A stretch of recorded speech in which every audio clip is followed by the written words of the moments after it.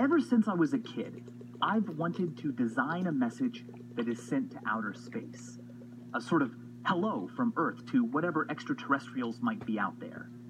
I mean, come on. To be the author of the first thing aliens ever heard from our entire planet